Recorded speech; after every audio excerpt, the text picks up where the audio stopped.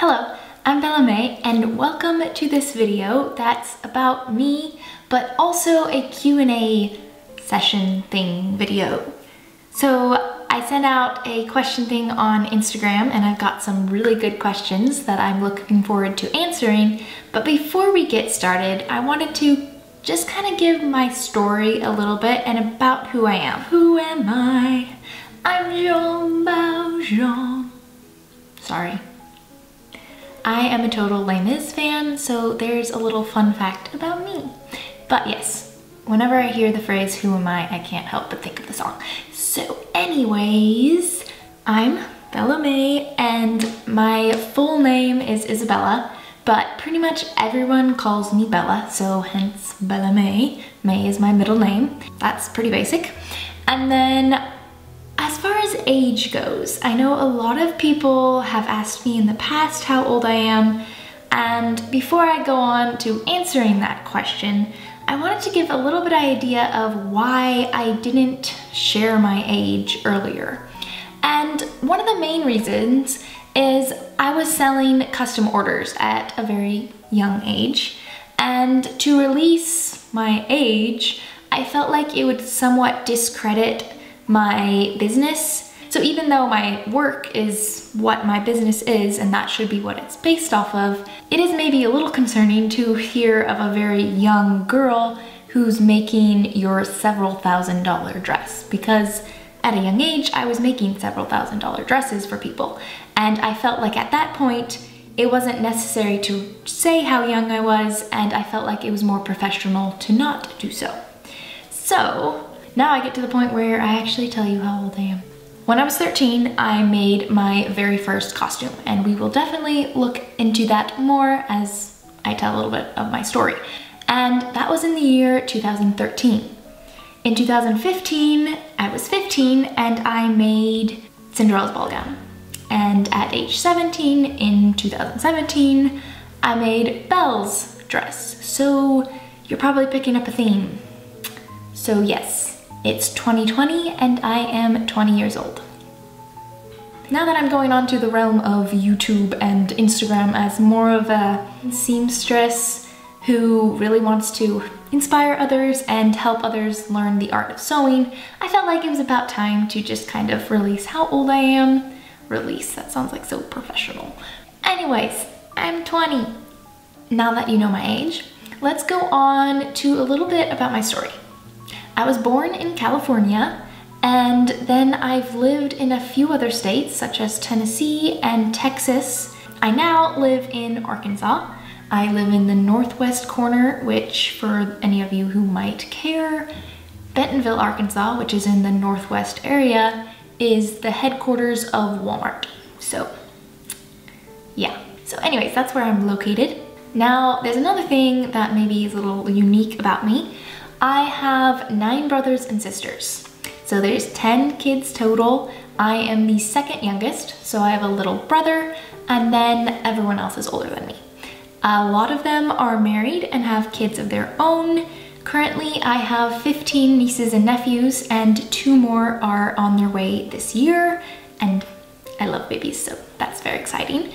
And you saw some of that in that Doolittle video. That was just a fraction of my nephews and nieces, but I love them to pieces and they're the best. So yeah, large family gatherings are very large, but we have fun and it's crazy, but it's family. And then another interesting fact about me, and actually someone asked this question. I was homeschooled all the way through, top to bottom, whatever, however you say that.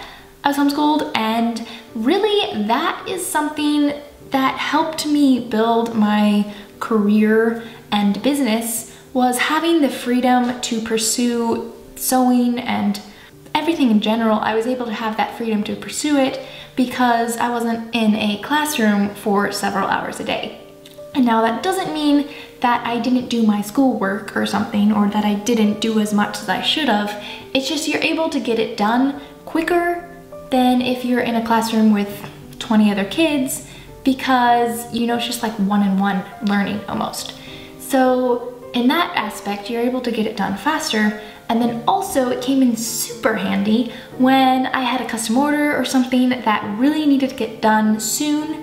I could just postpone that week of school and either that would go into summer or I would pick up the following week. So really, it was really flexible and I was able to have that freedom to pursue sewing and learn and to really niche down onto sewing and that was what I was interested in.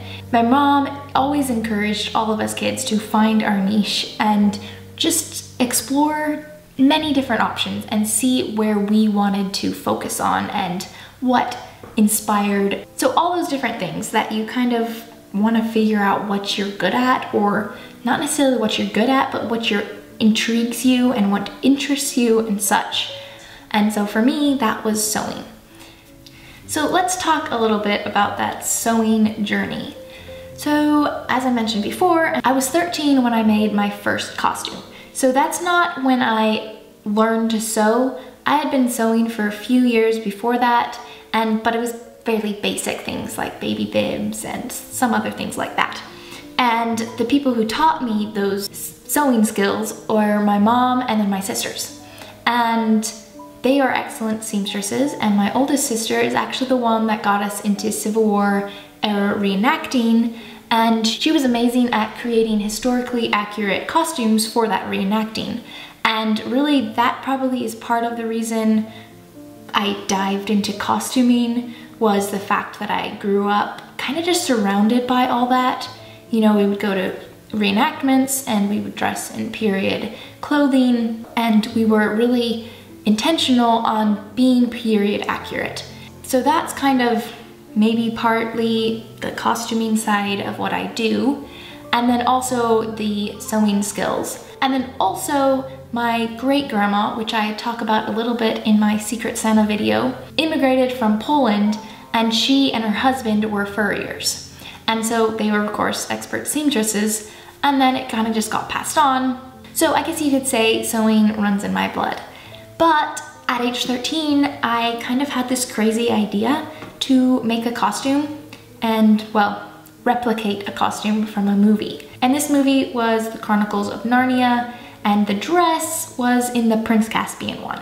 And I don't know why I wanted to make this costume because literally it was in for like a couple seconds in the end of the film. It's the coronation scene. And for some reason I wanted to make it. That does tell you a little bit about who I am because I tend to find those projects that are kind of hard to replicate or do. I guess what I'm trying to say is I really love a challenge.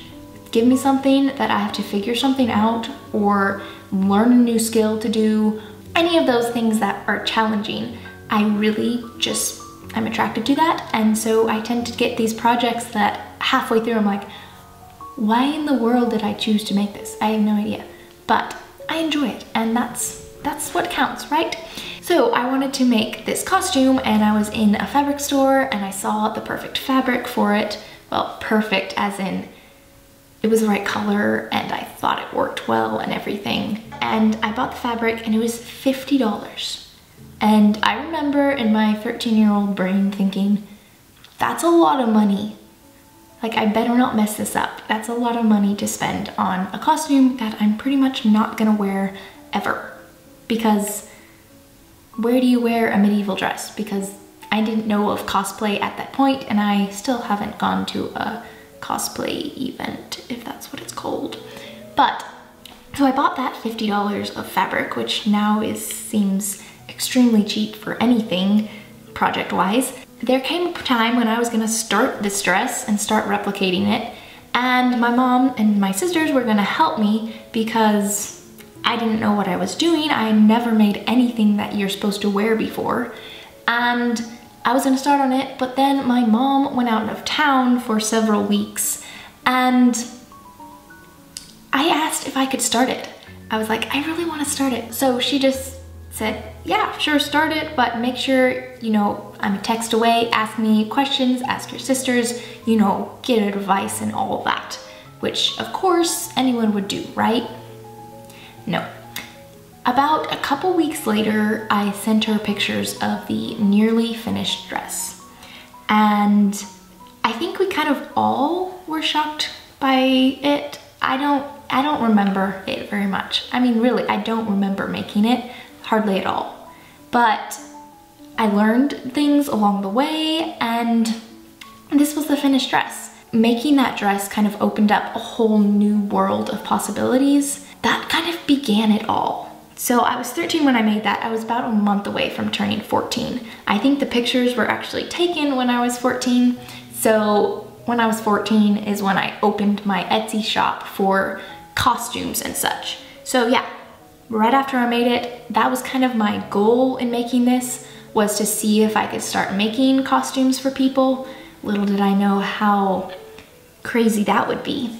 It was about a year later when I received my first custom order and that was for another Narnia dress. There was a good amount of time in there that I was able to learn more and pick up new skills and such.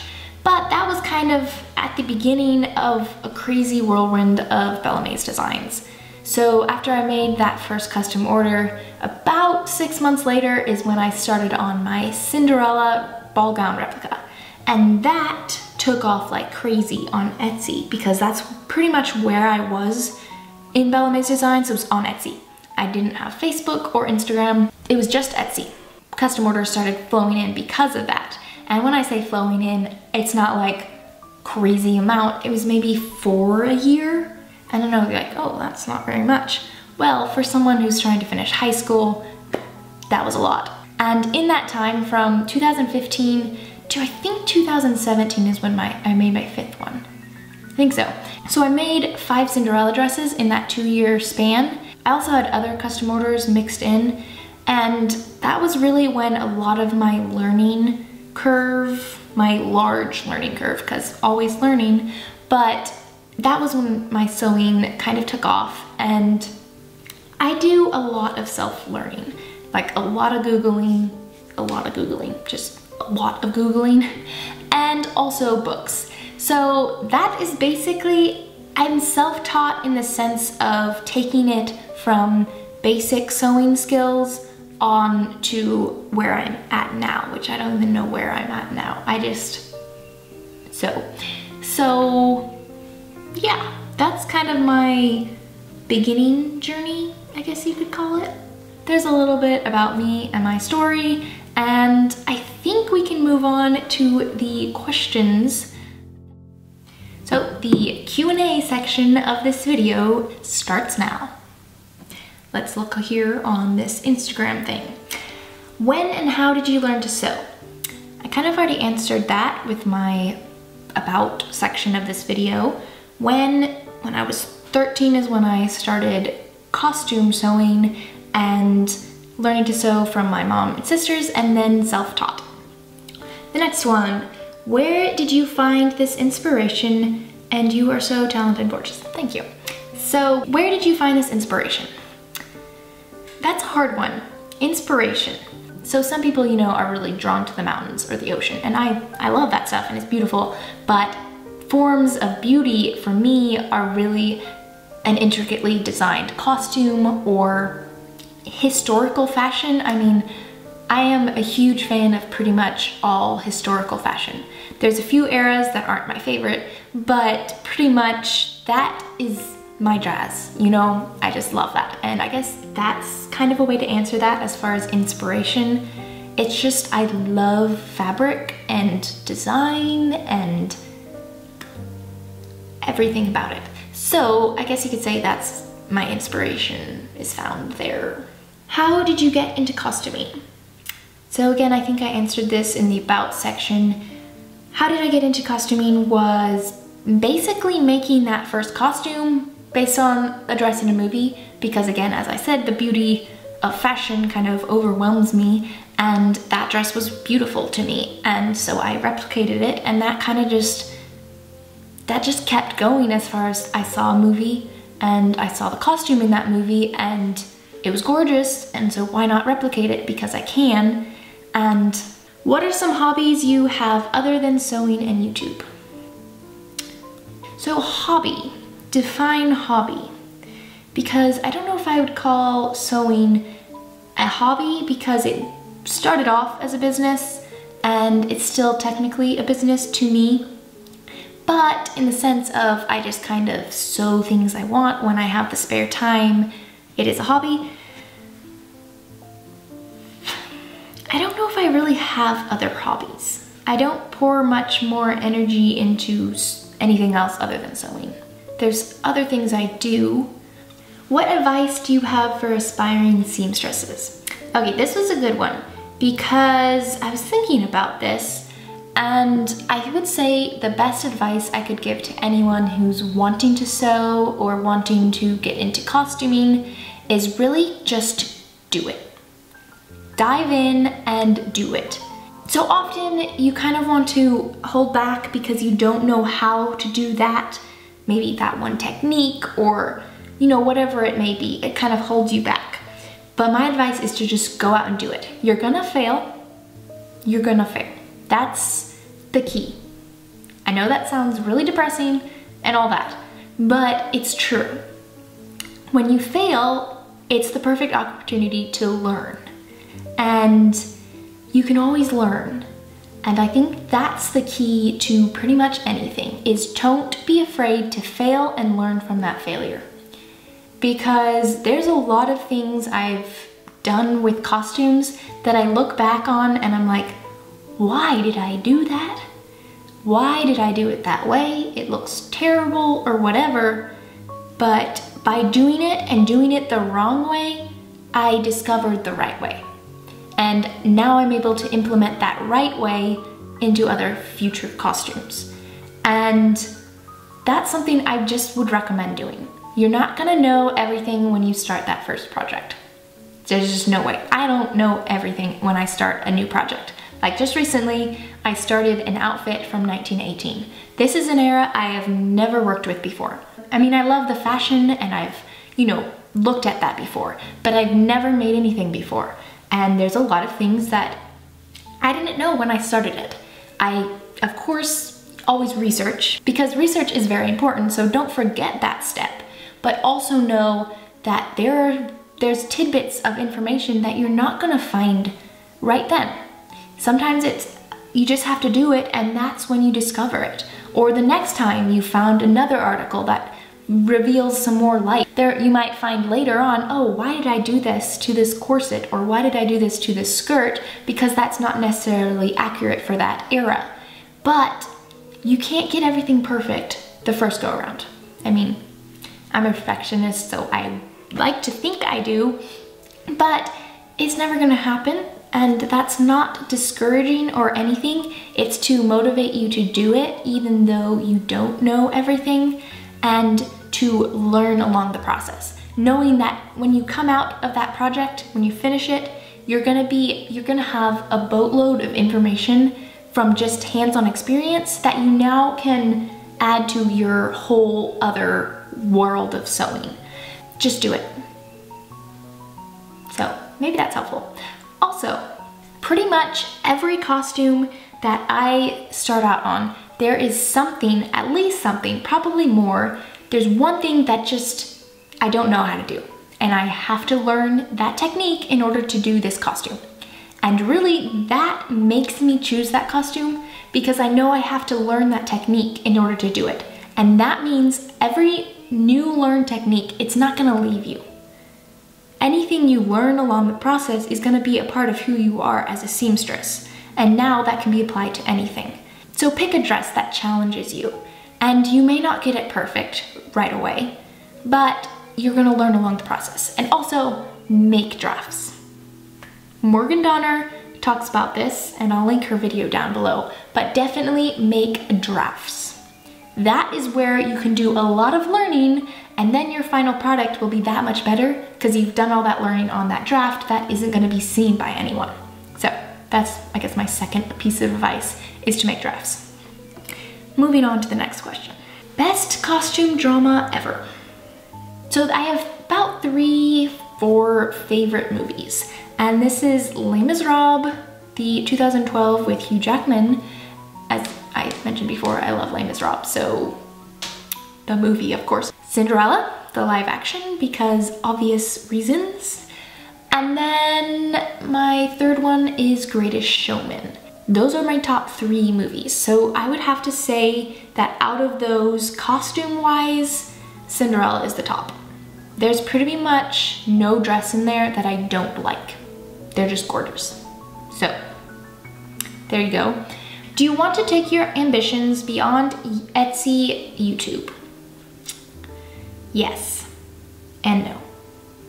So I do have this long shot dream that will probably never come true because I'm not pursuing it. I would love, love, love to design costumes for a film. Design or make and make, either or. And that's just something I've always wanted to do and at one point I was gonna pursue that but there are certain aspects to pursuing that that I didn't feel like I was ready to do. Some of that is moving to a film hotspot, I guess you could call it like LA, and that's just not something that I want to do at this time. I'm happy where I am and I can't imagine moving to LA ever. So, and then the second thing is getting a degree in fashion design, I would feel like is something that is very helpful for that dream ambition, but that's not something I'm gonna do because I'm very self-learner and I am okay with that. So those are two aspects that I'm not pursuing that dream because I don't want to pursue it in that way. And if some time down the road in the future that comes up as far as an option to design costumes or something, I would totally grab hold of it, but I'm not pursuing it. So that's, I guess you could say, a far probably unreachable dream of mine. But we can always dream, right? What is your favorite part of making costumes? That's a hard one because I like all the different aspects, pretty much. I like the finishing touches. I do enjoy that part, but I would also have to say the beginning stage is also very exciting to me when I think of a project or an idea or something, I kind of just want to jump on right now, abandon all other projects and just go do that other thing that I just dreamt of, which can be kind of annoying sometimes. But that initial planning and gathering supplies and all that, I really enjoyed that part. About halfway through the project is when I usually get discouraged and abandon it or set it aside for a little while. But, so that's probably my least favorite part. And then also, I guess I, as you can tell, I can't really name a specific favorite part. I do like detail a lot. Sometimes I don't like how long that detail takes to accomplish, but I do like adding those details that are just maybe not even noticeable or just really complete the whole outfit. So yeah, probably details. Probably. For historical projects, do you only use natural fiber fabrics, trims, and thread? Yes and no. When I start historical project, I do want to do my best to be historically accurate. I mean, basically in everything I do want to be accurate to what I'm trying to accomplish. And for a costume, that's making it look like it looks like in the movie. For historical, that's making it look like how it would be historically. And that would be natural fibers. I do make exceptions here and there, such as my Civil War era ball gown. That is not a natural fiber. It's, I think about 50, 50 cotton, maybe, and the other's rayon. But the reason I did that is because I wanted to make a Civil War era ball gown for myself, but I didn't, I couldn't justify the cost of spending money to make it in silk and I had this fabric in there that I spent $2 a yard on that looks like silk and feels like silk, but it wasn't silk. And that's an exception I made. I was okay with having that ball gown in a not natural fiber. And it's not something I regret. I would love it was made out of silk, but I couldn't justify the cost. That was the next best option. But on other things, so I do, but I don't. It really depends on the situation. I will tell you, you're not gonna see me choosing a polyester satin for something because that's just, you, you can tell that it's not historically accurate and when I make something, I want to make it look historically accurate in every aspect. Sometimes that fiber isn't necessarily 100% historically accurate, but it looks it and it and often feels like it. So I guess it's kind of a hard balance because you've got to work with your budget. And often when I make a dress for myself, I have a very low budget. And so I'm gonna kind of skimp on that. Now that has changed slightly now that I'm mostly making my costumes for myself and then I'll either sell them or I'm hoping to make YouTube a business for me where it can be a source of income. But that's, I guess, a kind of a fishy answer as far as what I do or don't do. But on the most part, my intentions are to be as historically accurate as possible. Do you ship your products for overseas customers? So currently I don't do custom orders, so no as far as in present tense, but in the past, yes, I shipped costumes worldwide. I shipped a few to the UK, one to Austria, a couple other places that I can't think of right now. My dresses went all over the place. Talk about expensive shipping, but yes. How much time do you need to sew a dress? This is very much based on what dress it is. So to give you a little comparison, my non-upgraded Cinderella dress, so my first dress that I made, I spent about 100 hours on. With my upgraded version, I spent 200 hours on it. So there gives you a little idea of the two dresses. They don't look a ton different, but I put more details and attention on, on the upgraded dress. So double the hours. My belle dress, that was 200 hours. My Civil War era ball gown, that's I think about 60, but that's kind of a vague number because I didn't keep track of how long it took to sew on, hand sew on that trim on the bottom. So it really depends on the costume. I would say for a non-intricate dress, so something that doesn't have like really detailed details, I would say about 50 hours for those type of dresses. And then if it's more advanced, has more undergarments or structure or whatever, you're talking several hundred hours. Where did you buy your dummy? I will put the link for that down below in this video. When did you get into sewing? What are some of your inspiration? I answered that first question in my about part of the video. Some inspirations. Basically any costume that is just beautiful. Look through my Pinterest board, which I'll link down below. That's kind of my inspiration. When I need to get inspired, I go on my Pinterest and just scroll on to gorgeousness. so, how do you make a pattern for a bodice? That's kind of complicated, but a lot of the times I just drape it. So I use my dress form and I just drape the fabric on it and play around with it until it's doing what I want it to do.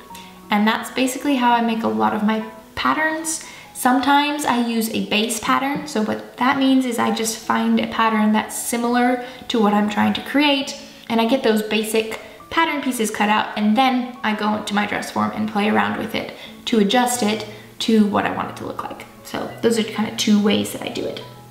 And then here's the one, were you homeschooled? I was, and you give me those homeschooler vibes. Yes, I'm homeschoolered. Yeah, I guess this is when I should put on some nerdy glasses or something. What's your favorite food? This is a random one. I like a lot of food. I like pizza. I like burritos and quesadillas. As you can see, I can't think of anything specific, but I do really love a good pizza. Barbecue pizza is extremely good. What's your favorite costume that you've made and that you haven't made? As far as have you made, it's probably a toss-up between the Cinderella ball gown and my Civil War era ball gown. I really like both of them. The Cinderella dress is just kind of the symbol of when I first began this whole crazy journey as far as really, really turning it into a business. And I just really love the design. Sandy Powell did an amazing job on the costumes of Cinderella and this dress is no exception. And so I don't own one right now, which kind of makes it sad. That's why I'm making a sixth one. But yes, that is definitely a favorite costume of mine. And then also my Sephora ball gown. That was just something, it was fun and kind of spur of the moment. And I really like how it turned out. So yeah, kind of probably between those both. And then what I haven't made, I would say there's a lot of costumes that I absolutely love and would love to make someday. But I would have to say that Ella's wedding dress in Cinderella is my all-time absolute dream dress that I would love to make someday. I don't know if we'll make it someday. I really hope I do do it, but it, it would be a huge project. So we'll see. But yes, I would say that whenever I see it, it's like, yes, I really like it. So, and then here's the last one. Your photography is amazing. Who, who does your photography? What camera do they use? What's their favorite editing software? How long do they typically spend editing a photo? Okay, so my photographer is my sister, as I mentioned earlier. She's incredible, and yes, I'm a little bit biased. Any finished costumes, you know, finished photo shoot, those are her photos. She does it all and she's incredible. Any in-progress shots, that's done by me. I use a Canon EOS 5D Mark II. I don't know if that's how you say it, but those are the numbers on the camera because I'm looking at it right now. That's what I use for my photography and video of in-progress stuff. Any finished photos, that's by my photographer. And she has the same camera, but a Mark III. So she has a Canon, but the Mark III. She uses Lightroom to edit her photos, I believe. And as far as how long she takes to edit it, I'm not really sure. What she usually does is she gets the edit the edit down for that batch of photos. And then once she gets that done, it's kind of the same for each of the photos in that photo shoot. So I'm not really sure how long it takes her. I'm guessing an hour or so to get that first edit ready to give to the rest of the pictures, if that's how you wanna describe it. So yeah, I hope that answers your question. That's what I use also to edit my photos is Lightroom and I just play around with all the settings. I'm not specific at it at all. I'm pretty sure that answers all the questions that I got on Instagram. If you have any questions that maybe some of my answers arised more questions or something, be sure to comment those down below. Also, I have different links in the description, be sure to check that out. And then, before we've closed this video out, I did just open my Patreon account. So if you'd like to support me via there, the link for that is down below. And if you decide to support, thank you, thank you, thank you. It would be amazing to have you along for this journey. What that Patreon money will give me is the opportunity to make more videos for you, to make more projects so I can make more videos for you, and all that. So thank you if you choose to do that. The link for that is down below. I think that closes out this about and Q&A video. Thank you for watching. Be sure to give this video a thumbs up and also subscribe to my channel if you want to see weekly videos from this YouTube channel. And then as always, go out, learn, create, and inspire.